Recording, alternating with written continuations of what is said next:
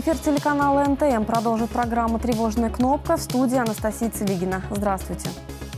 За прошедшие сутки в республике зарегистрировано сразу несколько возгораний. Только в столице Мордовии произошло два крупных пожара.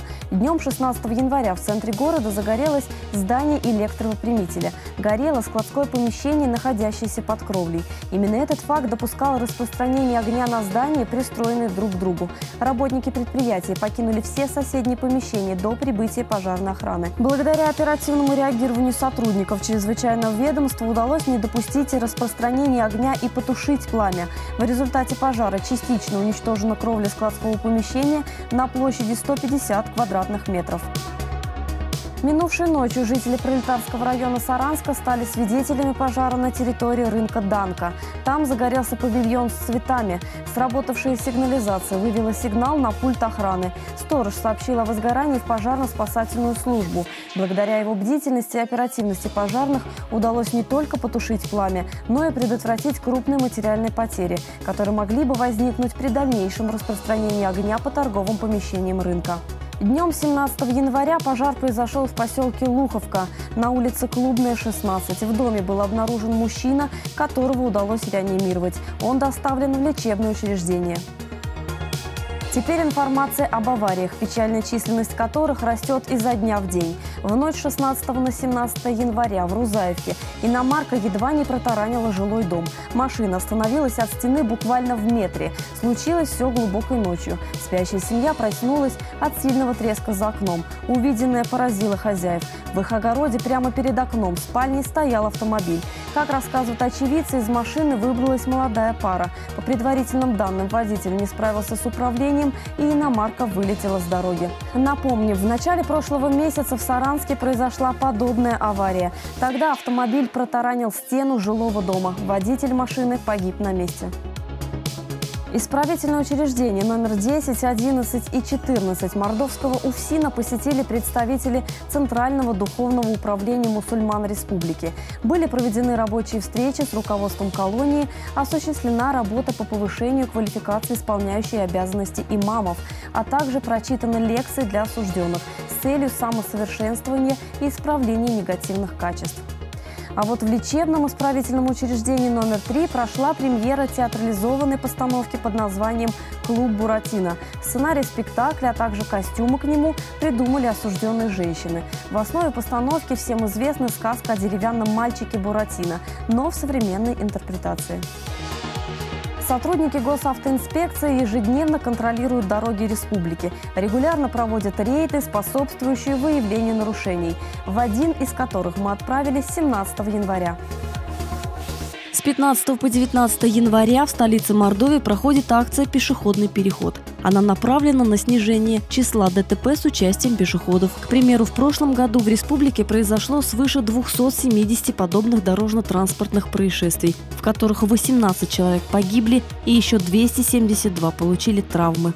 Сотрудники госавтоинспекции Мордовии регулярно проводят профилактические мероприятия, направленные на профилактику нарушений э, как пешеходами, так и водителями, которые не пропускают пешеходов в специально установленных для этого местах. На каждого из нарушителей составляется административный материал. Для пешеходов установлен штраф в размере 500 рублей. Для водителей данный штраф будет стоить от полутора до двух с половиной тысяч рублей. В Саранске возбуждено еще одно громкое уголовное дело. На этот раз по факту незаконной организации проведения азартных игр. По версии следствия, с марта 2016 года в нежилом помещении по улице Невского злоумышленники организовали подпольное казино. Ежедневная выручка от незаконной деятельности могла составить от 10 до 100 тысяч. Благодаря совместным действиям следователей Следственного комитета, сотрудников МВД и Росгвардии по Республике Мордовия удалось установить организатора преступной группы и администраторов игровых клубов. В ходе операции были изъяты 12 игровых автоматов, документация и денежные средства.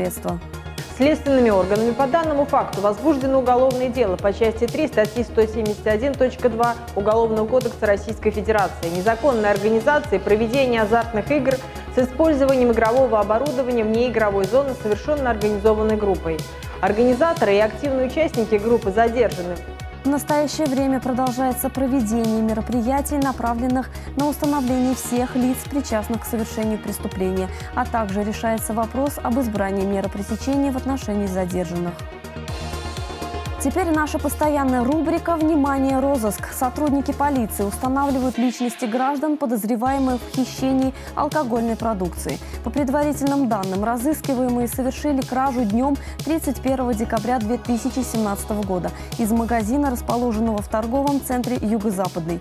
Приметы подозреваемых. Мужчине на вид 23-27 лет, среднего телосложения, рост 175-180 сантиметров, волосы короткие русые. Был одет в удлиненную куртку черного цвета с капюшоном и меховой опушкой, штаны и полуботинки черного цвета. Женщине на вид 25-28 лет среднего телосложения, рост 160-165 сантиметров, волосы черные. Была одета в куртку розового цвета с черной меховой опушкой, обувь черного цвета. Устанавливается личность мужчины, похитившего спиртные напитки в сентябре прошлого года. Приметы разыскиваемого.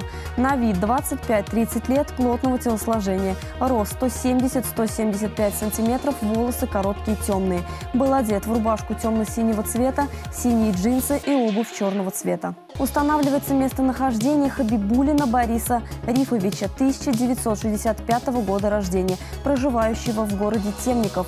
3 января 2018 года около 19 часов он ушел из дома и до настоящего времени его местонахождение неизвестно. При себе Хабибулин имеет паспорт на свое имя и денежные средства. На вид ему 60-65 лет, рост 160-165 сантиметров, худощавого телосложения. Глаза голубые, волосы седые до плеч, седая борода.